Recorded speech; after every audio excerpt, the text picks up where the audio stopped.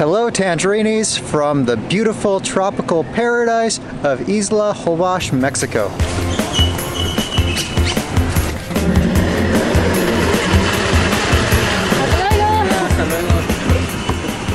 Alright. uh, so here we go. We couldn't leave. We, he said slow, like slow.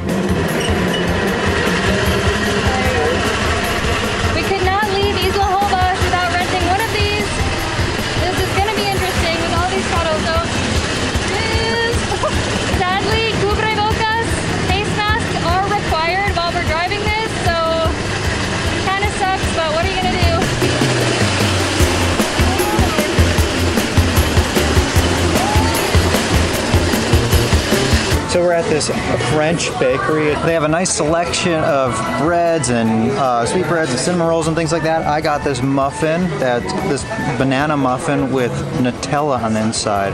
Since this is a French bakery, there's not a whole lot I can have with my gluten allergy, but I ended up getting a vegetarian omelet for 90 pesos. It's actually very good. I also got a espresso sencillo single espresso for 35 pesos. And believe it or not, this is one of the more affordable places that we've found in town. Very good. You said just this, this morning that basically you wanted to try everything in the bakery case. yeah, that banana muffin with Nutella is so good, and only 25 pesos. And they're very generous with their salmon on the bagel, also very good. I like this place. I went back for more. I got this it's like a croissant with ham and cheese on the inside, 35 pesos, and then I got another one of those muffins for 25. Uh, Jordan, we are at a French restaurant right now, so I think you mean croissant. Croissant. All of you who speak French, let her, let her know if she's pronouncing it right. Croissant. Ha, ha. I am stuffed after that.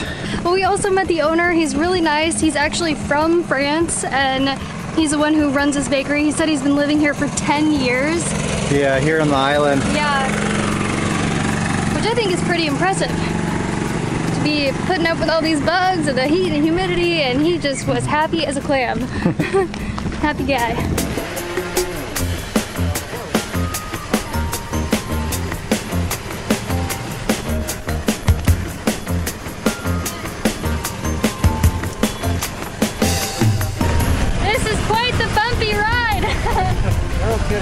Well, we had every intention of going to Punta Mosquitos, which is where there's like a nature reserve where you can see uh-huh. flamingos uh -huh. and stuff. But in terms of distance, we drove less than half of the distance before the road ended to where yeah. we would have to walk the rest of the uh -huh. way. I can only imagine it was like a 40 minute walk. We don't know. At least. We don't know because the cell towers don't reach this far. so we're turning around now. But we'll see what we see. The great thing is we have four hours to do whatever the heck we want tons of restaurants and beach clubs on this road, so it didn't take us too long to find one with lots of shade and an ocean view. Uh, the mobile post postre maker, the mobile dessert maker, uh, stopped by. He's like, "Would you like any postre?" I named off a bunch that he has, like arroz con leche, which I really like, and then he mentioned flan con Bailey's. So I'm like, yes, yes, that. I stopped him mid-sentence. Like, wait, what did you just say? 50 pesos for this delight? Well, I call it a delight because I know here in Mexico I like flan. Oh, that's good. Oh, that is good. That was really good. Oh, yeah.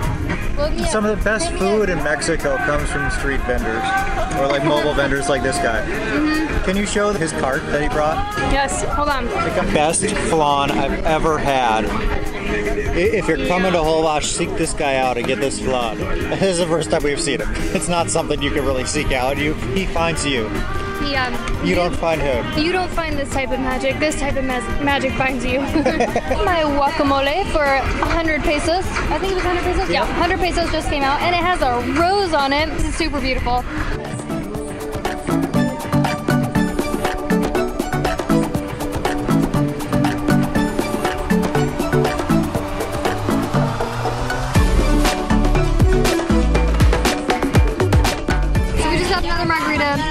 Pesos, this time maracuya aka passion fruit, and I take a sip and it's like so much better than the first margarita because I think passion fruit just makes everything taste better. It's not like the first margarita was bad, but No, it wasn't. passion fruit is amazing. I love it. The reason we stopped at this restaurant and not one of the many, many others on this road is because it was packed and packed with Mexicans.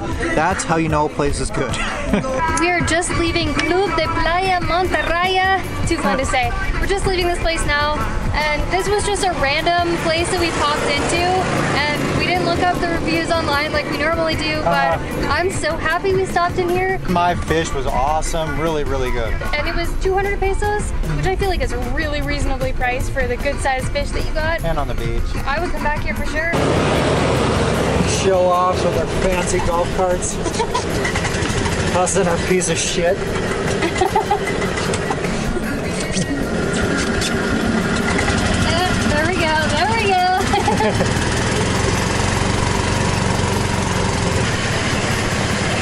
Good thing they alerted us to the speed bump. Wow, that is rich. That is hilarious. They said that there's a tope. What is this road if not for a million topes? we have made our way all the way over to the other side of the island, and it maybe took us like less than 10 minutes. and we found our way to like, I think the OG Holbox sign. This is kind of cool. It's a head of whale shark, then you have Holbox, whale shark tail. Do you want a photo?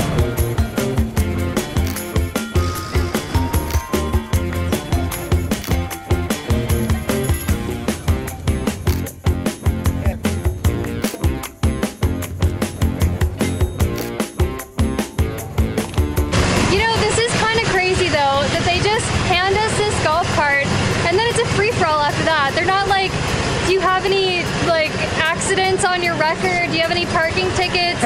Can you even drive this thing? They didn't show us anything except for how to turn it on, how to make it go, and how to make it reverse, and then how to lock it in place. I thought it was kind of funny that in their Like a, in their thing there, like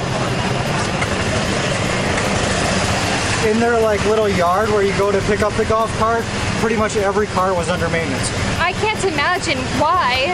Why is that with these amazing roads that they have? Oh.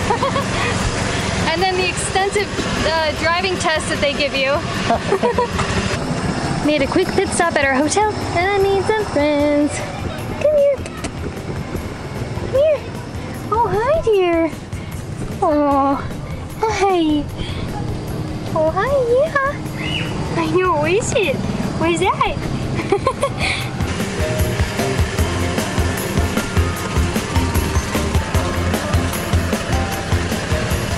We're back once again at Punta Cocos to see another sunset. And this time we're the first ones out here and we're early so we don't miss it. We want to see the sun going down like all the way. It's a little bit clearer tonight, so we're gonna have a different kind of sunset.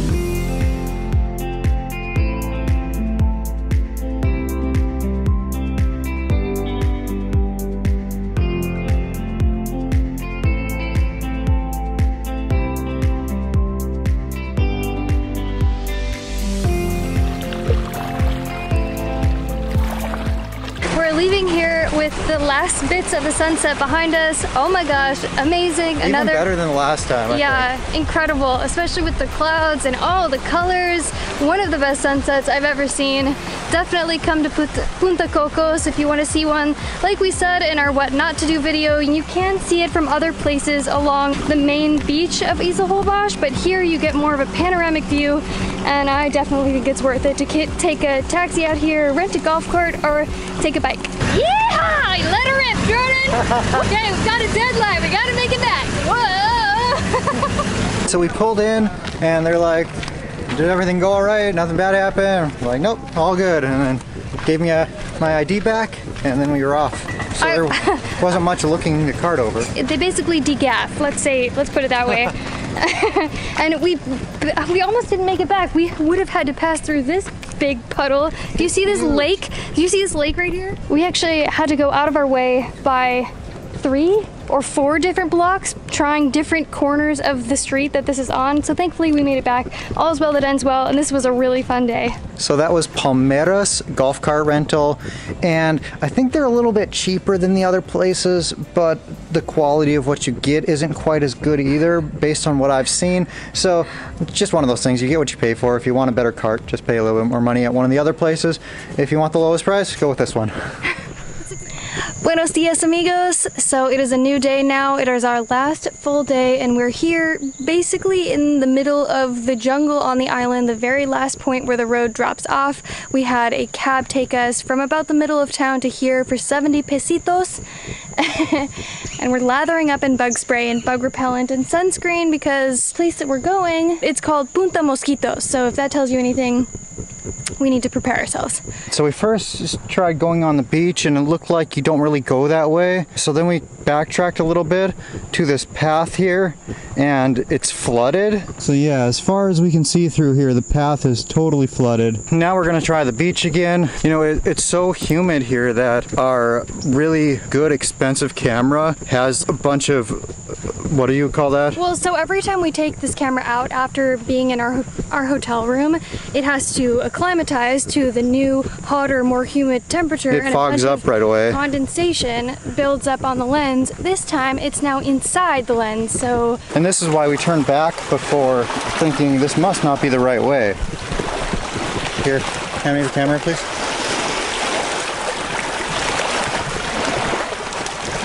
We easily found another path after that, so I think this is just gonna be uh, playing chicken with the flooding. now that we've reached another impassable puddle, and I don't even know if you'd call this a puddle. This is like a full-on lake or river running through. Then there's another one after that. So even if we took our shoes off, I think we would just be hitting this kind of thing the whole way. And the humidity has ruined our camera. So I guess we're gonna turn around and not see the flamingos. I'm really sad. this is our second attempt too.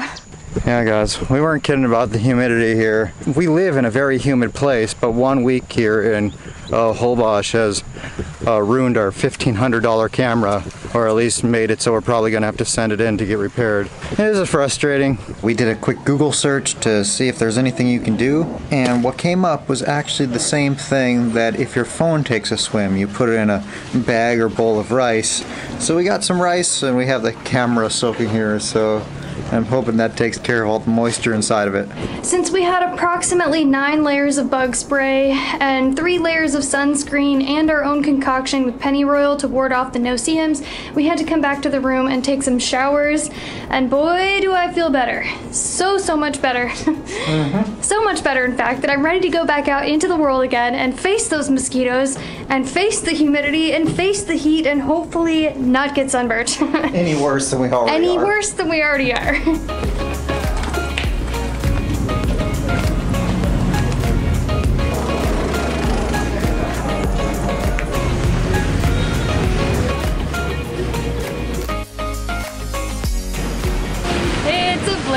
obligatory. You have to come to Isla Holbox and stand in the L of the Holbox sign. Oh, I was, I was gonna say, I wonder if anyone noticed that they're missing the L. Of course, you're the L.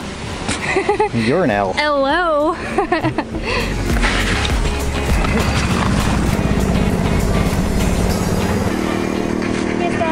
Gracias. Que tengan buen día.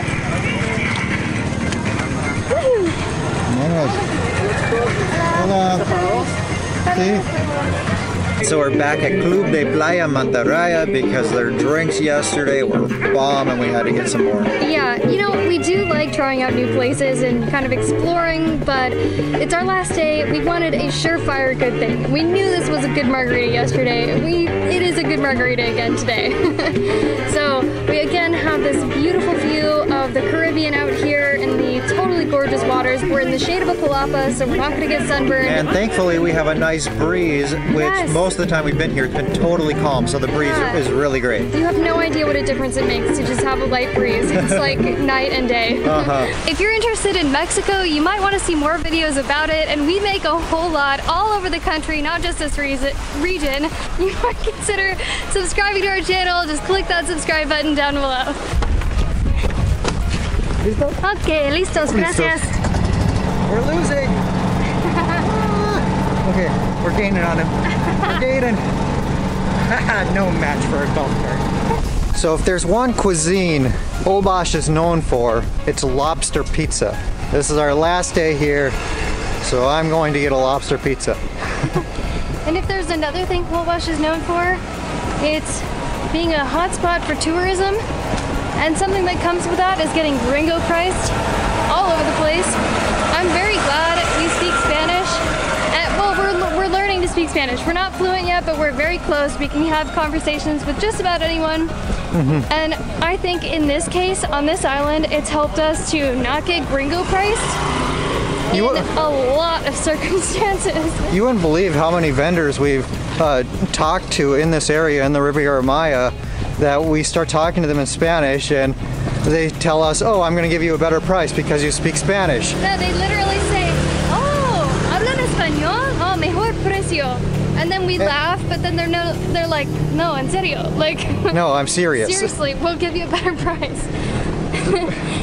so, if you're thinking about coming to Mexico, if you're thinking about coming here, even Isla Holbox, you don't need to know Spanish. Many, many people speak English here, but if you want to pay less than the very high prices that exist, and if you want to respect the culture, I think learning Spanish is a good idea.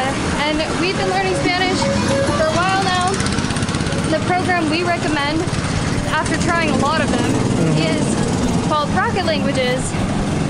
We've mentioned this in a lot of videos before because it's a good program, it's very thorough, and it's a good value for the money.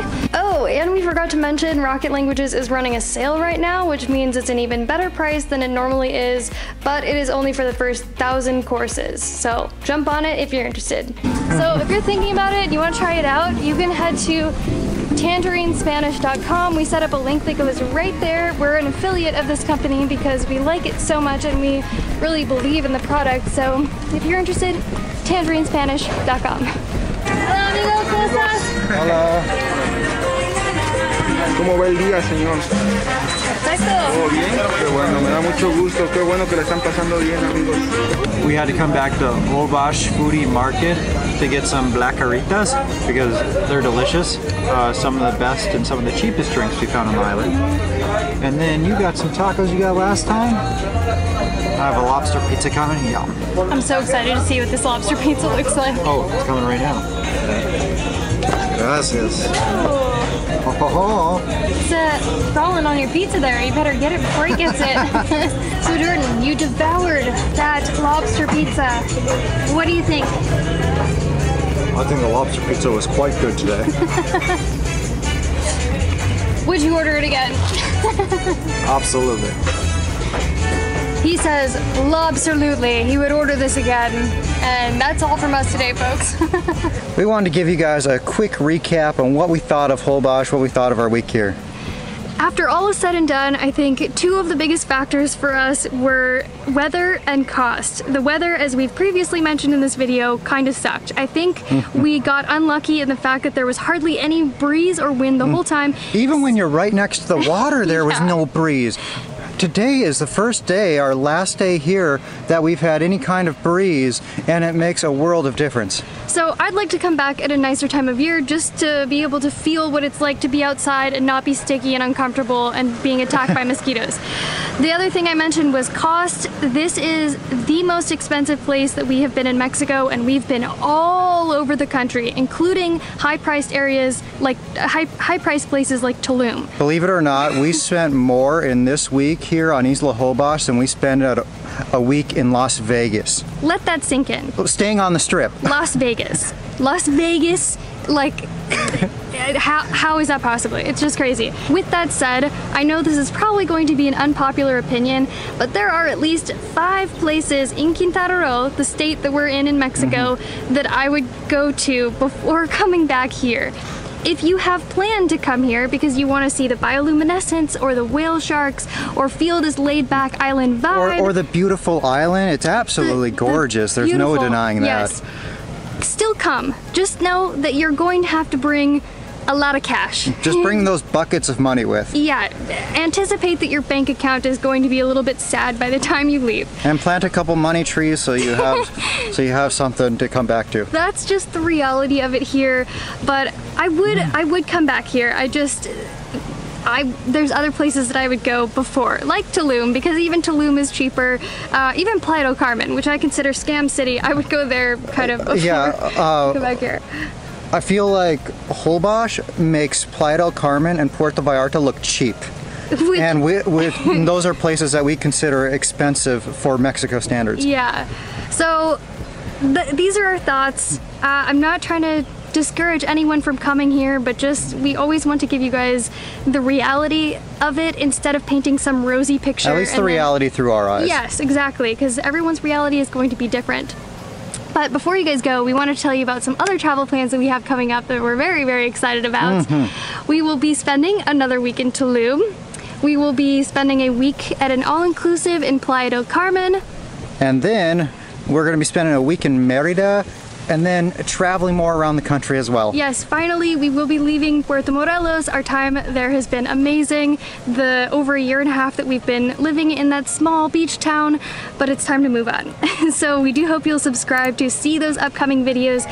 But in the meantime, on the end screen here in just a moment, we're going to link our last video that we made in Tulum, which was easily one of the most one of our favorite experiences that we've had in Mexico. Is the how long have we been here? Two and a half years? Uh, going on almost three. In years January, it'll be three years. We've been traveling around and making videos. So anyway, you guys, thank you so much for watching this video. And one more thing before you go. Gong that bell so you get notified whenever we release a new video. And we'll see you soon.